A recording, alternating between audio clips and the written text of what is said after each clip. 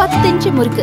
மந்த்ரா கடலை எண்ணெயில நானே பண்ணுது. ஒரு சேலஞ்ச் உங்களால இந்த மாதிரி முறுக்கு செய்ய முடியுமா? மந்த்ரா கடலை எண்ணெயில முறுக்கு செஞ்சு பாருங்க.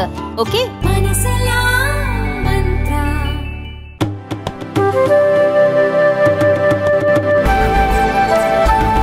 பாராளுமன்றத்தில் ஜாதி குறித்து பேசி நாட்டை பிளவுபடுத்த காங்கிரஸ் முயற்சிக்கிறது என்று மத்திய அமைச்சர் கிரண் ரிஜிஜு தெரிவித்துள்ளார்.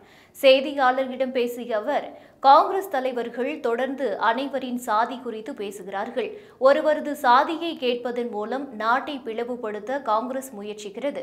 ராகுல் காந்தி செய்தியாளர்களை சந்திக்கும் போது அவர்களின் சாதியை கேட்கிறார். ஆயுதப்படை வீரர்களின் சாதியை கேட்கிறார். பாரத இணைப்பு யாத்திரையின் போது மக்களின் சாதியை கேட்கிறார். மற்றவர்களின் சாதியை அவர் கேட்கலாம். ஆனால் அவர் சாதியை யாரும் கேட்கக்கூடாதா? அவரின் சாதியை கேட்பதில் என்ன தவறு இருக்கிறது? ராகுல் காந்திக்கு அகிலேஷ் யாதவ் ஆதரவு அளிக்கிறார். அவர்கள் என்ன? இந்த நாட்டிற்கும் நாடாளுமன்றத்திற்கும் மேலானவர்களா? வீதிகள் முதல் நாடாளுமன்றம் வரை காங்கிரஸ் வன்முறையை பரப்புகிறது.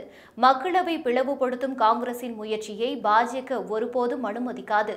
எழுபது ஆண்டுகள் ஆட்சியில் இருந்த நீங்கள் ஏன் சாதிவாரி கணக்கெடுப்பை நடத்தவில்லை என்று கிரண் ரிஜிஜு கேள்வி எழுப்பியுள்ளார்.